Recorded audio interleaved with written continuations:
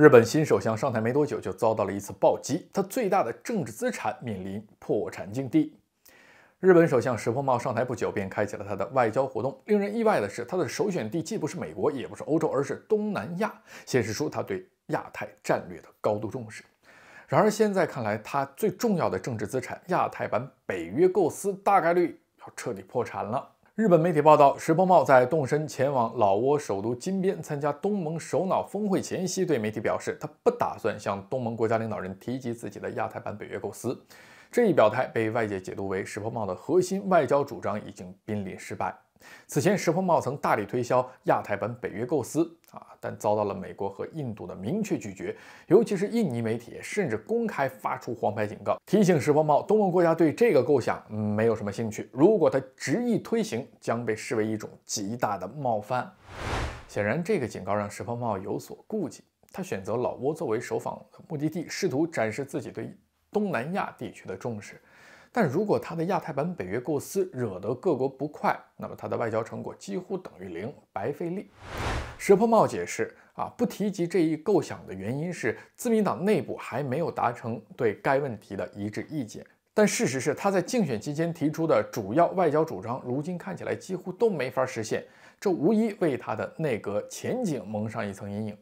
许多媒体甚至猜测，石破茂很可能啊成为一届短命首相。当然，石破茂也未必一定就短命，唯一的希望就在于他能否盘活日本经济，并在国内治理方面有所建树。然而，要实现这个目标，他必须修复与中国的关系。日本经济对中国市场的依赖显而易见，如果石破茂想要成功，放弃亚太版北约构思几乎是不可避免的事儿。你看，从一开始啊，石破茂的这个计划就是一场妄想。他作为一个老练的政客，按理说。经过多年的锤炼和日本政坛的摸爬滚打，并且啊还和中方有一定的接触，应该对中国还有比较深刻的了解才对啊。然而他依然提出一个如此不成熟的构想，只能说明他和当下的日本政客在战略眼光上还是存在着巨大的短板。日本这种战术决定战略的思维方式，反映出它作为一个小国的局限性。日本的国力有限，往往只能走一步看一步，顺着道走，先看看能做什么，再决定最终的目标。而大国往往先设定宏大目标，再制定相应战略策略。因此，日本常常制定出啊与现实不符的战略，结果呢，它就是四处碰壁。